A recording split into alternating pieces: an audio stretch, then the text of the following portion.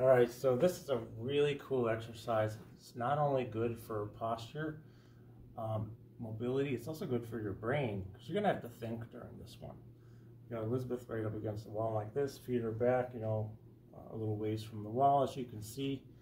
The idea here is to, uh, if you don't know already, I need to digress for a moment. Anteriorly on the front side and on the back side, okay, from shoulder to hip, shoulder to hip, there's a crisscross muscular pattern. Okay, that's why when we walk, we have reciprocal arm swing, not same side arm swing.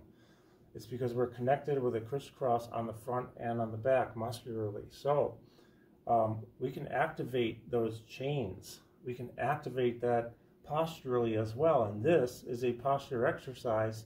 It's also good for activating um, the opposite arm leg movement pattern, but in reverse. So hands are against the wall. There will always be one hand against the wall at least. And uh, let's demonstrate, you pick whatever side you want to do. She's going to kick out opposite arm leg. See this right there? Okay, there you go. She comes back. Now she's going to do the other side. And I can tell you that both she and I got confused during this because it's not a naturally not something we come up, you know, out of the womb doing. So this is good though. Really nice.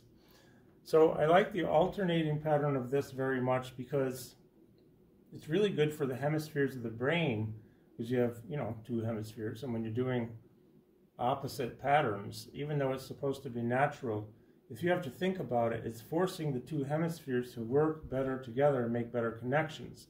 This is great for overall brain health, nervous system health, and everything.